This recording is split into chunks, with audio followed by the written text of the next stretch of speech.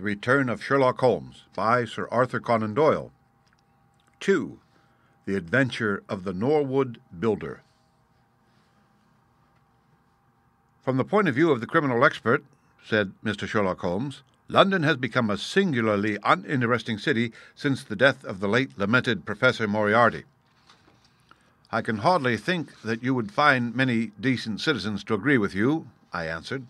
Well, well, I must not be selfish, said he with a smile as he pushed back his chair from the breakfast table. The community is certainly the gainer and no one the loser, save the poor out of work specialist whose occupation has gone. With that man in the field, one morning's paper presented infinite possibilities.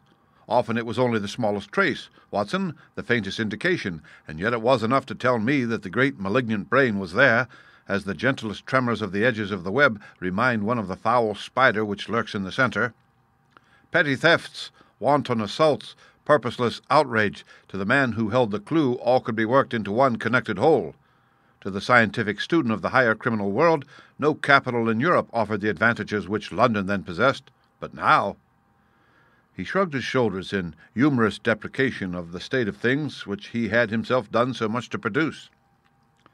At the time of which I speak, Holmes had been back for some months, and I, at his request, had sold my practice and returned to share the old quarters in Baker Street. A young doctor named Verner had purchased my small Kensington practice and given, with astonishingly little demur, the highest price that I ventured to ask, an incident which only explained itself some years later when I found that Verner was a distant relation of Holmes and that it was my friend who had really found the money. Our months of partnership had not been so uneventful as he had stated, for I find on looking over my notes that this period includes the case of the papers of ex President Murillo and also the shocking affair of the Dutch steamship Friesland, which so nearly cost us both our lives. His cold and proud nature was always averse, however, to anything in the shape of public applause, and he bound me in the most stringent terms to say no further word of himself, his methods, or his successes a prohibition which, as I have explained, has only now been removed. Mr. Sherlock Holmes was leaning back in his chair after his whimsical protest, and was unfolding his morning paper in a leisurely fashion when our attention was arrested by a tremendous ring at the bell, followed immediately by a hollow drumming sound as if someone were beating on the outer door with his fist. As it opened, there came a tumultuous rush into the hall, rapid feet clattered up the stair, and an instant later a wild eyed and frantic young man, pale and dishevelled, palpitating, burst into the room.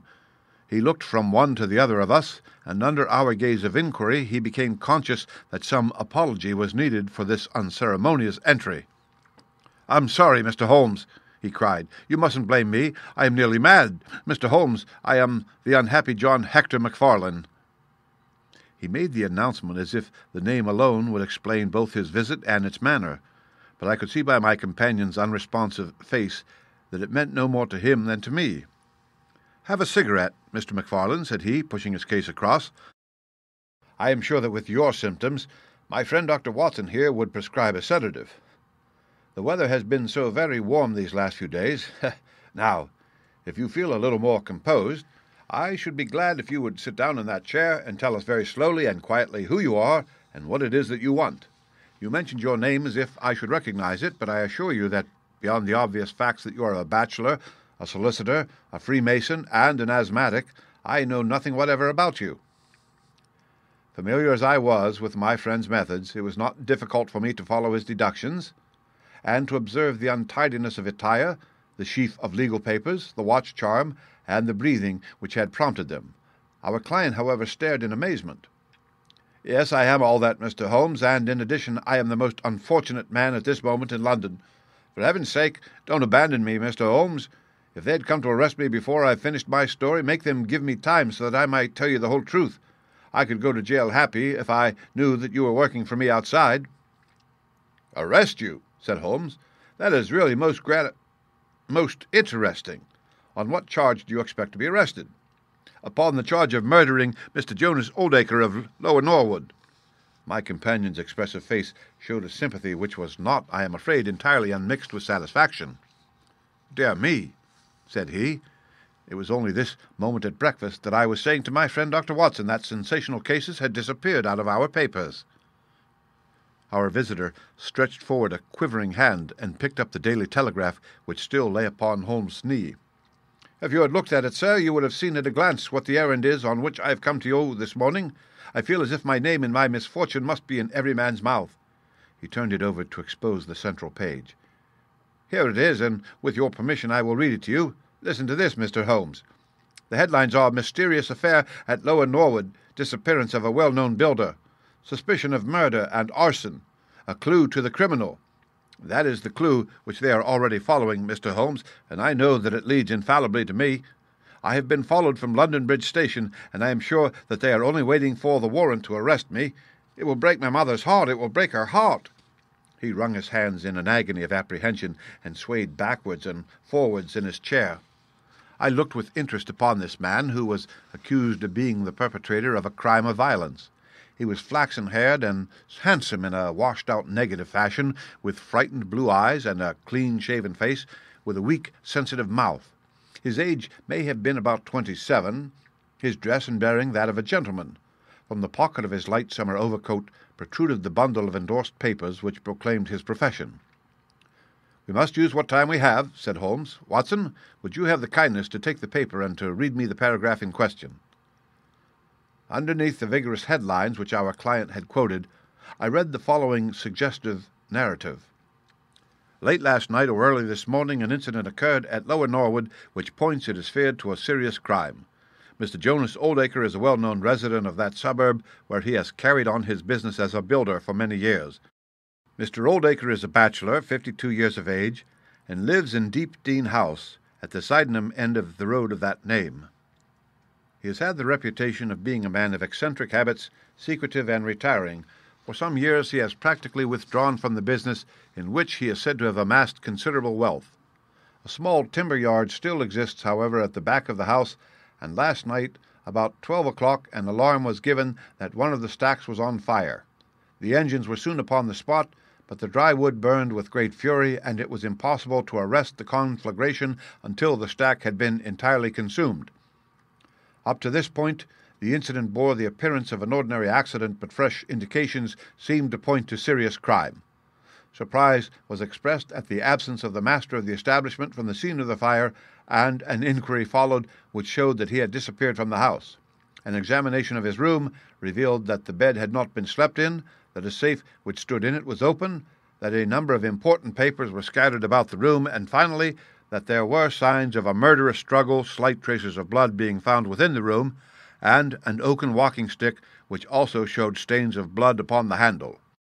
It is known that Mr. Jonas Oldacre had received a late visitor in his bedroom upon that night, and the stick found has been identified as the property of this person, who is a young London solicitor named John Hector McFarlane, Jr., partner of Graham and McFarlane of 426 Gresham Building, E.C. The police believe that they have evidence in their possession which supplies a very convincing motive for the crime, and altogether it cannot be doubted that sensational developments will follow.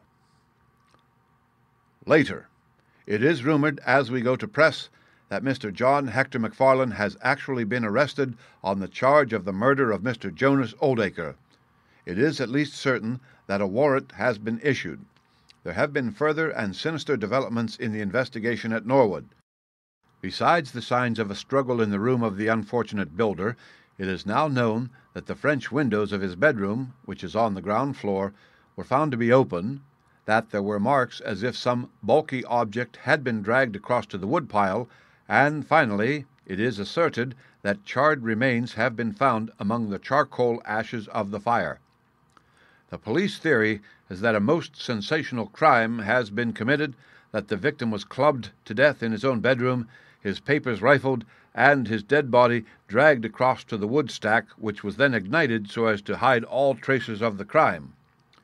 The conduct of the criminal investigation has been left in the experienced hands of Inspector Lestrade of Scotland Yard, who is following up the clues with his accustomed energy and sagacity. Sherlock Holmes listened with closed eyes and fingertips together to this remarkable account. The case has certainly some points of interest, said he in his languid fashion. May I ask in the first place, Mr. MacFarlane, how it is that you are still at liberty since there appears to be enough evidence to justify your arrest? I live at Torrington Lodge, Blackheath, with my parents, Mr. Holmes, but last night, having to do business very late with Mr. Jonas Oldacre, I stayed at an uh, hotel in Norwood and came to my business from there. I knew nothing of this affair until I was in the train when I read what you have just heard.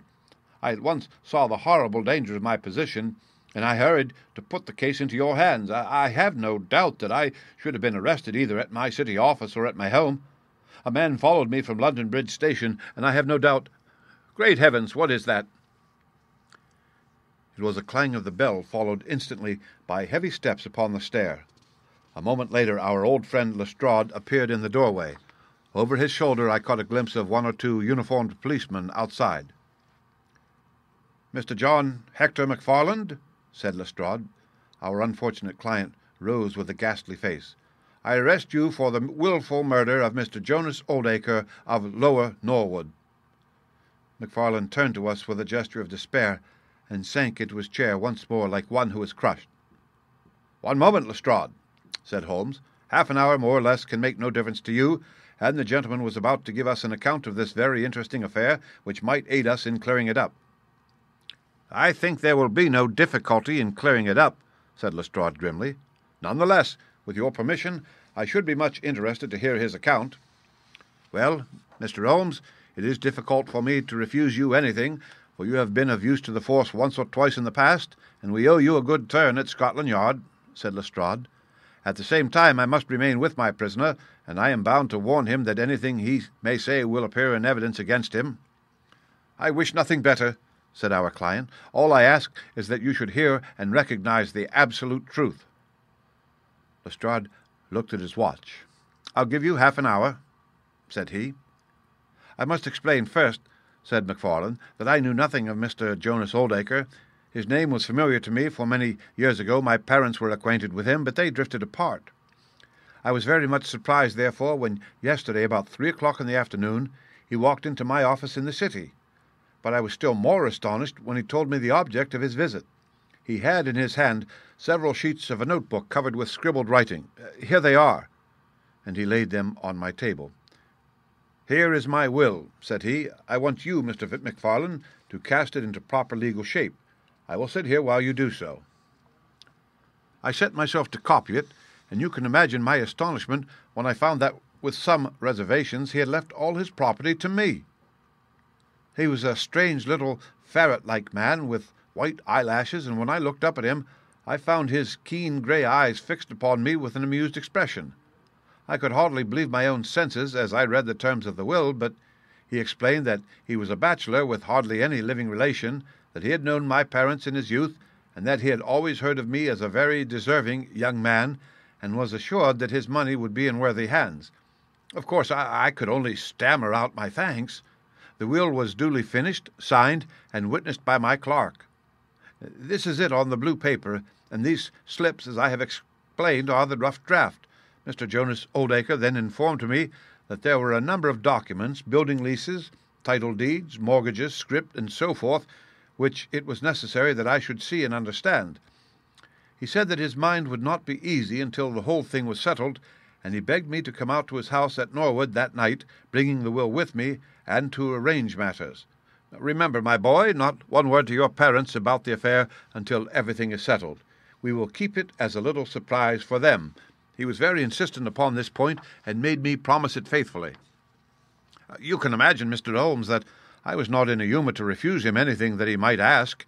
He was my benefactor, uh, and all my desire was to carry out his wishes in every particular. I sent a telegram home, therefore, to say that I had important business on hand, and that it was impossible for me to say how late I might be. Mr. Oldacre had told me that he would like me to have supper with him at nine, as he might not be home before that hour. I had some difficulty in finding his house, however, and it was nearly half past before I reached it. I found him. One moment, said Holmes. Who opened the door? A middle aged woman who was, I, I suppose, his housekeeper. And it was she, I presume, who mentioned your name? Exactly, said MacFarlane. Uh, pray proceed. MacFarlane wiped his damp brow and then continued his narrative. I was shown by this woman into a sitting room where a frugal supper was laid out, Afterwards, Mr. Jonas Oldacre led me into his bedroom, in which there stood a heavy safe. This he opened and took out a mass of documents which we went over together. It was between eleven and twelve when we finished. He remarked that we must not disturb the housekeeper. He showed me out through his own French window, which had been open all the time. Was the blind down? asked Holmes. I will not be sure, but I believe that it was only half down. Yes, I remember how he pulled it up in order to swing open the window. I could not find my stick, and he said, Never mind, my boy. I shall see a good deal of you now, I hope, and I will keep your stick until you come back to claim it. I left him there, the safe open, and the papers made up in packets upon the table. It was so late that I could not get back to Blackheath, so I spent the night at the Anerley Arms, and I knew nothing more until I read of this horrible affair in the morning. Anything more that you would like to ask, Mr. Holmes? said Lestrade, whose eyebrows had gone up once or twice during this remarkable explanation. Not until I've been to Blackheath. You mean to Norwood? said Lestrade. Oh, yes. No doubt that is what I must have meant, said Holmes, with his enigmatical smile. Lestrade had learned by more experiences than he would care to acknowledge that that razor-like brain could cut through that which was impenetrable to him. I saw him look curiously at my companion. I think I should like to have a word with you presently, Mr. Sherlock Holmes, said he. Now, Mr. MacFarlane, two of my constables are at the door, and there is a four-wheeler waiting. The wretched young man arose, and with a last beseeching glance at us walked from the room. The officers conducted him to the cab, but Lestrade remained. Holmes had picked up the pages which formed the rough draft of the will, and was looking at them with the keenest interest upon his face. There are some points about that document, Lestrade, are there not? said he, pushing them over. The official looked at them with a puzzled expression. I can read the first few lines, and these in the middle of the second page, and one or two at the end. Those are as clear as print, said he, but the writing in between is very bad, and there are three places where I cannot read it at all. What do you make of that? said Holmes. Well, what do you make of it? That it was written in a train, the good writing represents stations, the bad writing movement, and the very bad writing passing over points. A scientific expert would pronounce at once that this was drawn up on a suburban line, since nowhere save in the immediate vicinity of a great city could there be so quick a succession of points. Granting that his whole journey was occupied in drawing up the will, then the train was an express, only stopping once between Norwood and London Bridge. Lestrade began to laugh. You are too many for me when you begin to get on your theories, Mr. Holmes, said he. How does this bear on the case? Well, it corroborates the young man's story to the extent that the will was drawn up by Jonas Oldacre in his journey yesterday. It is curious, is it not, that a man should draw up so important a document in so haphazard a fashion? It suggests that he did not think it was going to be of much practical importance. If a man drew up a will which he did not intend ever to be effective, he might do it so. Well, he drew up his own death warrant at the same time, said Lestrade. Oh, you think so? Don't you? Well, it is quite possible, but the case is not clear to me yet. Not clear? Well, if that isn't clear, what could be clear? Here is a young man who learns suddenly that if a certain older man dies, he will succeed to a fortune. What does he do? He says nothing to anyone, but he arranges that he shall go out on some pretext to see his client that night. He waits until the only other person in the house is in bed, and then in the solitude of a man's room he murders him, burns his body in the woodpile, and departs to a neighbouring hotel. The bloodstains in the room and also on the stick are very slight. It is probable that he imagined his crime to be a bloodless one, and hoped that if the body were consumed it would hide all traces of the method of his death, traces which for some reason must have pointed to him. Is that not all obvious? It strikes me, my good Lestrade, as being just a trifle too obvious, said Holmes. You do not add imagination to your other great qualities, but if you could for one moment put yourself in the place of this young man, would you choose the very night after the will had been made to commit your crime? Would it not seem dangerous to you to make so very close a relation between the two incidents? Again, would you choose an occasion when you are known to be in the house when a servant has let you in? And finally, would you take the great pains to conceal the body and yet leave your own stick as a sign that you were the criminal? Confess, Lestrade, that all this is very unlikely. As to the stick, Mr. Holmes, you know as well as I do that a criminal is often flurried and does things which a cool man would avoid. He was very likely afraid to go back to the room. Give me another theory that would fit the facts. I could very easily give you half a dozen, said Holmes. Here, for example, is a very possible and even probable one. I make you a free present of it. The older man is showing documents which are of evident value. A passing tramp sees them through the window, the blind of which is only half down. Exit the solicitor, enter the tramp, he seizes a stick which he observes there, kills Oldacre, and departs after burning the body. Why should the tramp burn the body? For the matter of that, why should Macfarlane? To hide some evidence. Well, possibly the tramp wanted to hide that any murder at all had been committed. And why did the tramp take nothing? Because they were papers that he could not negotiate. Lestrade shook his head, though it seemed to me that his manner was less absolutely assured than before. Well, Mr. Sherlock Holmes, you may look for your tramp, and while you are finding him, we will hold on to our man.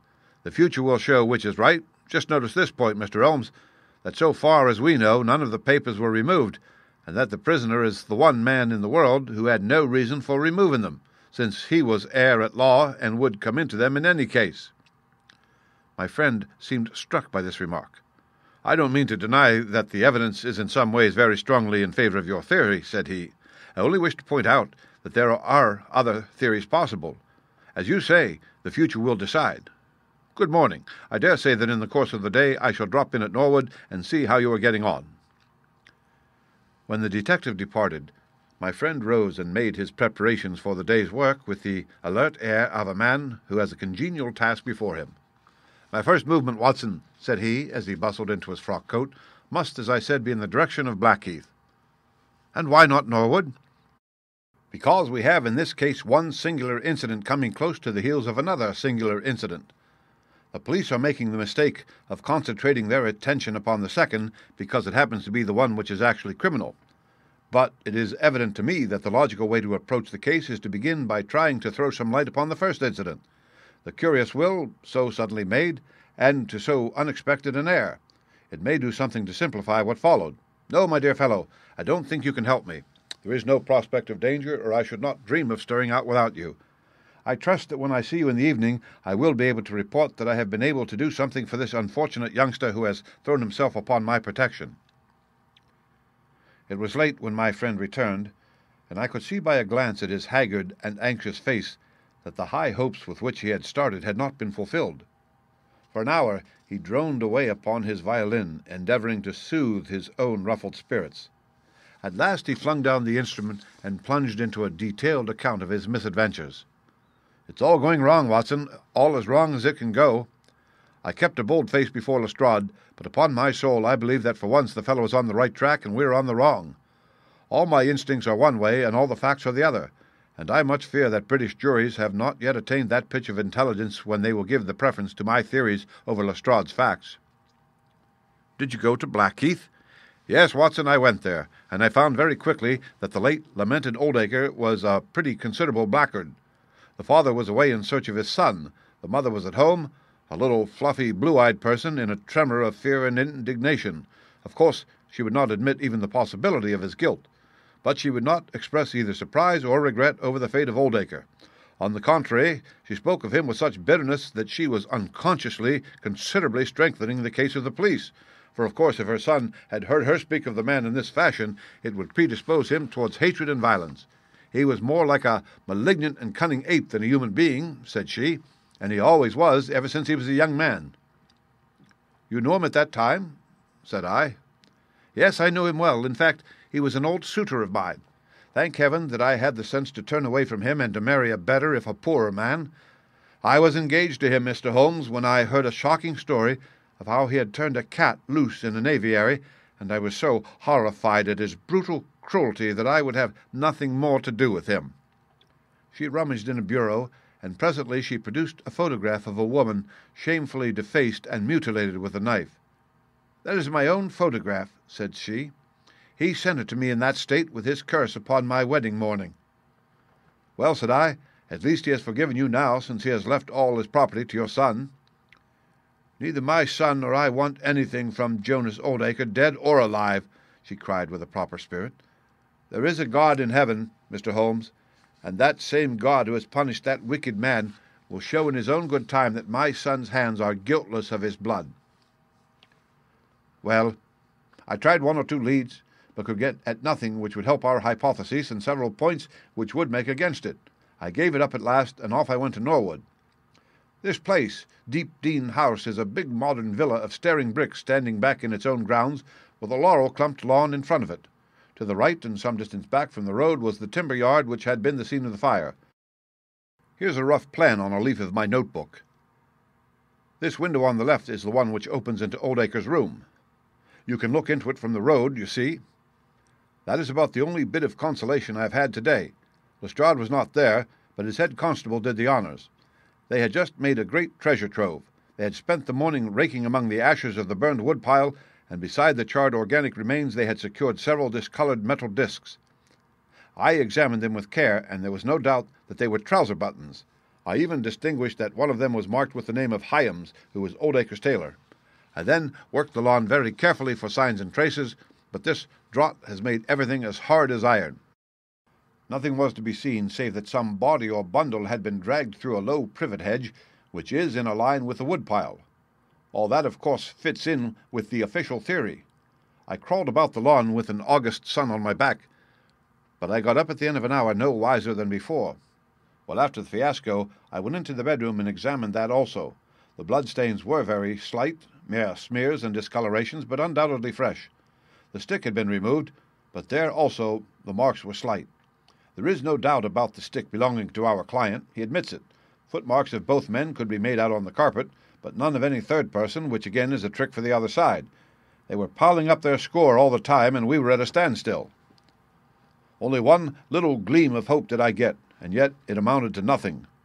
I examined the contents of the safe, most of which had been taken out and left on the table. The papers had been made up into sealed envelopes, one or two of which had been opened by the police, they were not, so far as I could judge, of any great value, nor did the bank book show that Mr. Oldacre was in very much affluent circumstances. But it seemed to me that all the papers were not there.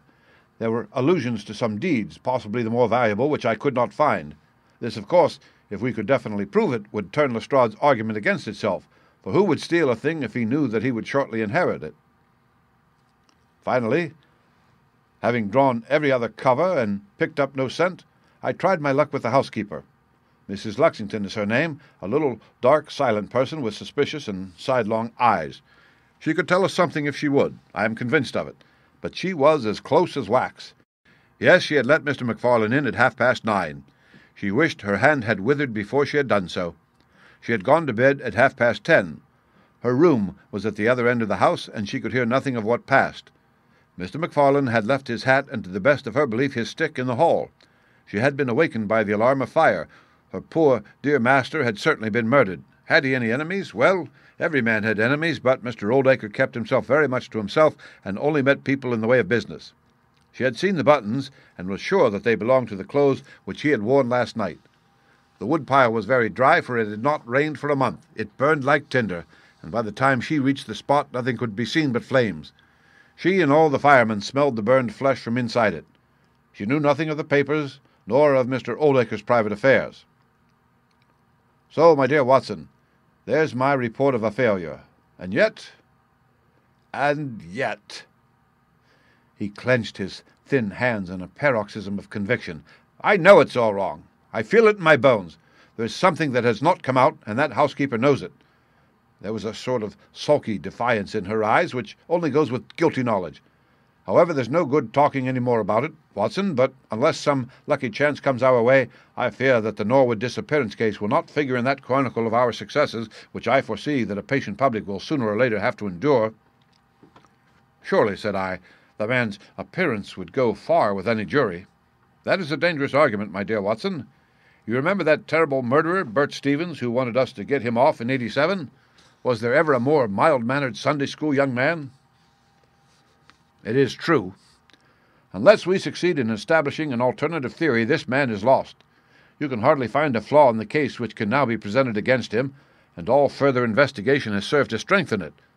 By the way, there is one curious little point about those papers which may serve us as the starting point for an inquiry. On looking over the bank book, I found that the low state of the balance was principally due to large checks which have been made out during the last year to Mr. Cornelius. I confess that I should be interested to know who this Mr. Cornelius may be, with whom a retired builder has such very large transactions. Is it possible that he has had a hand in the affair?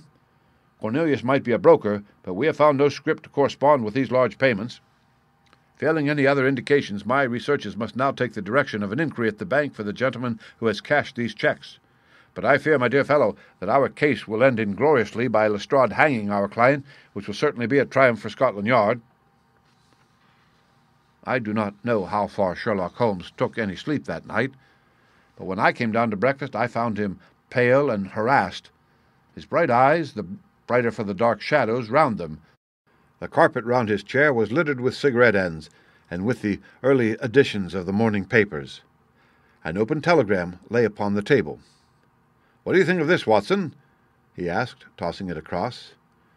It was from Norwood and ran as follows Important Fresh evidence to hand. MacFarlane's guilt definitely established. Advise you to abandon case. Lestrade. This sounds serious, said I. It is Lestrade's little cockadoodle of victory, Holmes answered, with a bitter smile. And yet it may be premature to abandon the case. After all, important fresh evidence is a two edged thing, and may possibly cut in a very different direction to that which Lestrade imagines. Take your breakfast, Watson, and we will go out together and see what we can do. I feel as if I shall need your company and your moral support today. My friend had no breakfast himself, for it was one of his peculiarities that in his more intense moments he would permit himself no food, and I have known him presume upon his iron strength until he has fainted from pure inanition. At present I cannot spare energy and nerve force for digestion, he would say, in answer to my medical remonstrances. I was not surprised, therefore, when this morning he left his untouched meal behind him and started with me for Norwood. A crowd of morbid sightseers were still gathered around Deepdene House, which was just a suburban villa as I had pictured. Within the gates, Lestrade met us, his face flushed with victory, his manner grossly triumphant. Well, Mr. Holmes, have you proved us to be wrong yet? Have you found your tramp? he cried. I have formed no conclusion whatever, my companion answered. But we formed ours yesterday, and now it proves to be correct. So you must acknowledge that we have been a little in front of you this time, Mr. Holmes. You certainly have the air of something unusual having occurred, said Holmes. Lestrade laughed loudly. You don't like being beaten any more than the rest of us do, said he. A man can't expect always to have it his own way, can he, Dr. Watson? Uh, step this way, if you please, gentlemen, and I think I can convince you once and for all that it was John MacFarlane who did this crime. He led us through the passage and out into a dark hall beyond. This is where young MacFarlane must have come out to get his hat after the crime was done, said he. Now look at this. With dramatic suddenness, he struck a match and by its light exposed a stain of blood upon the whitewashed wall. As he held the match nearer, I saw that it was more than a stain. It was the well marked print of a thumb. Look at that with your magnifying glass, Mr. Holmes. Yes, I am doing so. You are aware that no two thumb marks are alike? I have heard something of the kind. Well, then, will you please compare that print with this wax impression of young MacFarlane's right thumb taken by my orders this morning? As he held the waxen print close to the blood stain, it did not take a magnifying glass to see that the two were undoubtedly from the same thumb. It was evident to me that our unfortunate client was lost. That is final, said Lestrade. Yes, that is final, I involuntarily echoed. It is final, said Holmes. Something in his tone caught my ear, and I turned to look at him. An extraordinary change had come over his face. It was writhing with inward merriment. His two eyes were shining like stars. It seemed to me that he was making desperate attempts to restrain a convulsive attack of laughter. Dear me, dear me, he said at last. Well, now, who would have thought it? And how deceptive appearances may be, to be sure. Such a nice young man to look at. It is a lesson to us not to trust our own judgment, is it not, Lestrade? Yes, uh, some of us are a little too much inclined to be cocksure, Mr. Holmes, said Lestrade. The man's insolence was maddening, but we could not resent it. What a providential thing that this young man should press his right thumb against the wall in taking his hat from the peg. Such a very natural action, too, if you come to think of it. Holmes was outwardly calm, but his whole body gave a wriggle of suppressed excitement as he spoke. By the way, Lestrade, who made this remarkable discovery? It was the housekeeper, Mrs. Lexington, who drew the night constable's attention to it. Where was the night constable? He remained on guard in the bedroom where the crime was committed so as to see that nothing was touched. But why didn't the police see this mark yesterday? Well, we had no particular reason to make a careful examination of the hall. Besides, it's not in a very prominent place, as you see. No, no, of course not. I suppose there is no doubt that the mark was there yesterday. Lestrade looked at Holmes as if he thought he was going out of his mind. I confess that I was myself rather surprised both at his hilarious manner and at his rather wild observation. I don't know whether you think that MacFarlane came out of jail in the dead of the night in order to strengthen the evidence against himself, said Lestrade. I leave it to any expert in the world whether that is not the mark of his thumb. It is unquestionably the mark of his thumb. There, that's enough, said Lestrade. I am a practical man, Mr. Holmes, and when I have got my evidence, I come to my conclusions. If you have anything to say, you will find me writing my report in the sitting room. Holmes had recovered his equanimity, though I still seemed to detect gleams of amusement in his expression. Dear me, this is a very sad development, Watson, is it not? said he. And yet there are singular points about it which hold out some hopes for our client. I am delighted to hear it, said I heartily. I was afraid it was all up with him. I would hardly go so far as to say that, my dear Watson. The fact is that there is one really serious flaw in this evidence to which our friend attaches so much importance. Indeed, Holmes, what is it? Only this. And I know that that mark was not there when I examined the hall yesterday. And now, Watson, let us have a little stroll round in the sunshine. With a confused brain, but with a heart into which some warmth of hope was returning, I accompanied my friend in a walk round the garden. Holmes took each face of the house in turn and examined it with great interest. He then led the way inside and went over the whole building from basement to attics. Most of the rooms were unfurnished, but none the less Holmes inspected them all minutely. Finally, on the top corridor, which ran outside three untenanted bedrooms, he again was seized with a spasm of merriment. There are really some very unique features about this case, Watson, said he. I think it is time now that we took our friend Lestrade into our confidence. He has had his little smile at our expense, and perhaps we may do as much by him if my reading of this problem proves to be correct. Yes, yes, I think I see how we should approach it. The Scotland Yard inspector was still writing in the parlour when Holmes interrupted him. I understood that you were writing a report of this case, said he. So I am. Don't you think it may be a little premature? I can't help thinking that your evidence is not complete. Lestrade knew my friend too well to disregard his words. He laid down his pen and looked curiously at him. What do you mean, Mr. Holmes? Only that there is an important witness whom you have not seen. Can you produce him? I think I can. Then do so. I will do my best. How many constables have you? There are three within call. Excellent, said Holmes. May I ask if they are all large, able bodied men with powerful voices? I have no doubt they are, though I fail to see what their voices have to do with it. Perhaps I can help you to see that, and one or two other things as well, said Holmes. Kindly summon your men, and I will try. Five minutes later, three policemen had assembled in the hall. In the outhouse you will find a considerable quantity of straw, said Holmes. I will ask you to carry in two bundles of it. I think it will be of the greatest assistance in providing the witness whom I require.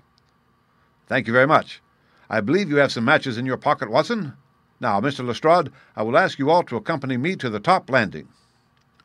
As I have said, there was a broad corridor there, which ran outside three empty bedrooms. At one end of the corridor we were all marshalled by Sherlock Holmes, the constables grinning and Lestrade staring at my friend with amazement, expectation, and derision chasing each other across his features. Holmes stood before us with the air of a conjurer who is performing a trick. Would you kindly send one of your constables for two buckets of water? Put the straw on the floor here, free from the wall on either side. Now I think that we are all ready. Lestrade's face had begun to grow red and angry. I don't know what you're playing a game with us or not, Mr. Holmes, said he. If you know anything, you can surely say it without all this tomfoolery. I assure you, my good Lestrade, that I have an excellent reason for everything that I do. You may possibly remember that you chaffed me a little some hours ago when the sun seemed on your side of the hedge, so you must not grudge me a little pomp and ceremony now. Might I ask you, Watson, to open that window and then to put a match to that edge of the straw? I did so, and driven by the draught, a coil of grey smoke swirled down the corridor while the dry straw crackled and flamed. Now we must see if we can find this witness for you, Lestrade. Might I ask you all to join in the cry of Fire? Now then, one, two, three. Fire! We all yelled. Thank you. I will trouble you once again. Fire! Just once more, gentlemen, and all together. Fire! The shout must have rung over Norwood. It had hardly died away when an amazing thing happened. A door suddenly flew open out of what appeared to be a solid wall at the end of the corridor, and a little wizened man darted out of it like a rabbit out of its burrow. Capital, said Holmes calmly. Watson, a bucket of water over the straw. That will do. Lestrade, allow me to present you with your principal missing witness, Mr. Jonas Oldacre.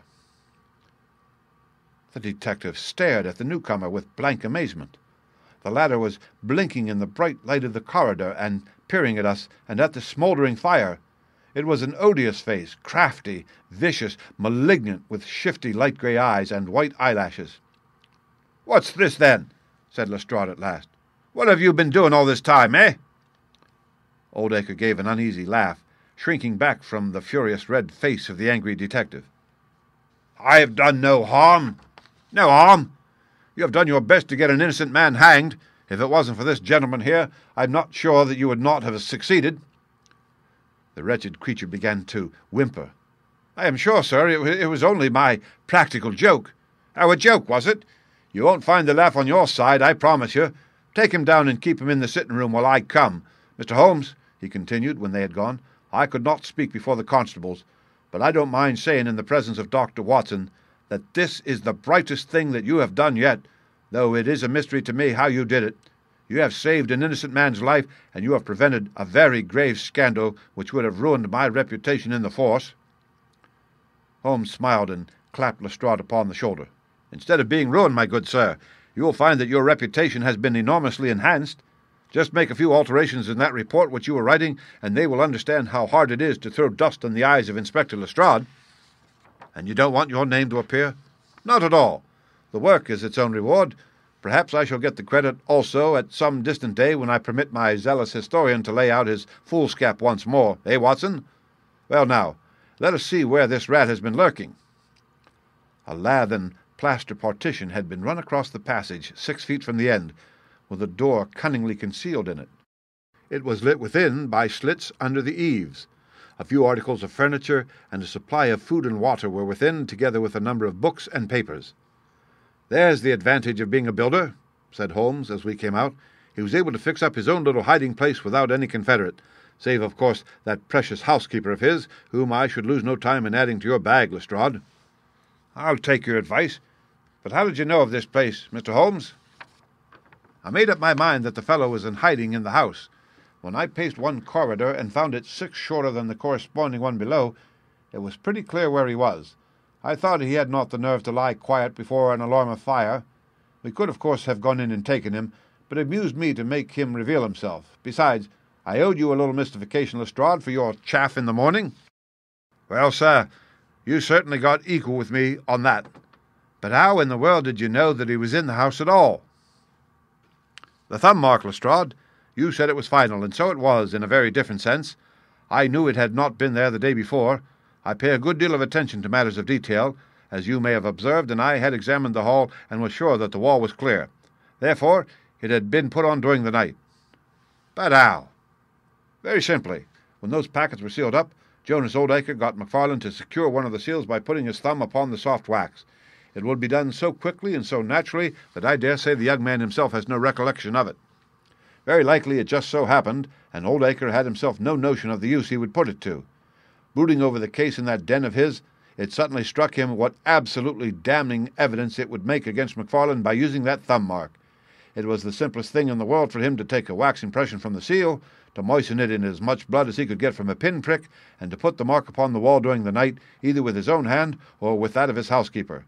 If you examine among those documents which he took with him into his retreat, I will lay you a wager that you find the seal with the thumbprint mark on it. Wonderful, said Lestrade. Wonderful! It's all as clear as crystal, as you put it. But what is the object of this deep deception, Mr. Holmes? It was amusing to me to see how the detective's overbearing manner had changed suddenly to that of a child asking questions of its teacher. Well, I don't think that's very hard to explain. A very deep, malicious, vindictive person is the gentleman who is now awaiting us downstairs. You know that he was once refused by MacFarlane's mother? You don't? I told you that you should go to Blackheath first and Norwoods afterward. Well, this injury, as he would consider it, has rankled in his wicked, scheming brain, and all his life he has longed for vengeance, but never seen his chance. During the last year or two, things have gone against him. Secret speculation, I think, and he finds himself in a bad way. He determines to swindle his creditors, and for this purpose he pays large checks to a certain Mr. Cornelius, who is, I imagine, himself under another name. I have not traced those checks yet, but I have no doubt that they were banked under that name at some provincial town where Oldacre from time to time led a double existence. He intended to change his name altogether, draw this money, and vanish, starting again elsewhere. Well, that's likely enough. It would strike him that in disappearing he might throw all pursuit off his track and at the same time have an ample and crushing revenge upon his old sweetheart if he could give the impression that he had been murdered by her only child. It was a masterpiece of villainy, and he carried it out like a master. The idea of the will, which would give an obvious motive for the crime, the secret visit unknown to his own parents, the retention of the stick, the blood, the animal remains, and buttons in the woodpile, all were admirable. It was a net from which it seemed to me a few hours ago that there was no possible escape. But he had not that supreme gift of the artist, the knowledge of when to stop.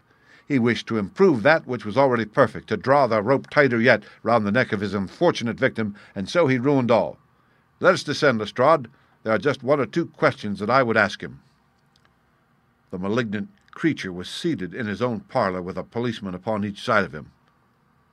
It was a joke, my good sir, a practical joke, nothing more he whined incessantly. I assure you, sir, that I simply concealed myself in order to see the effect of my disappearance, and I am sure that you would not be so unjust as to imagine that I would have allowed any harm to befall poor young Mr. MacFarlane. That's for a jury to decide, said Lestrade. Anyhow, we shall have you on a charge of conspiracy, if not for attempted murder.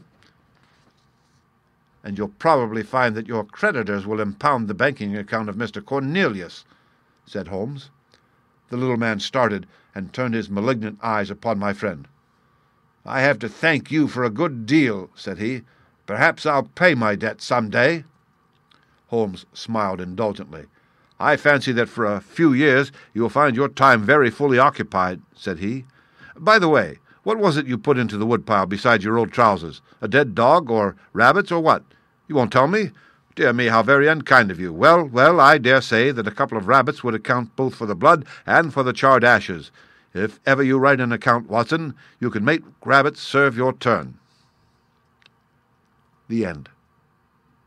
Read by Rick Kishner for Lit2Go on the web at fcit.usf.edu.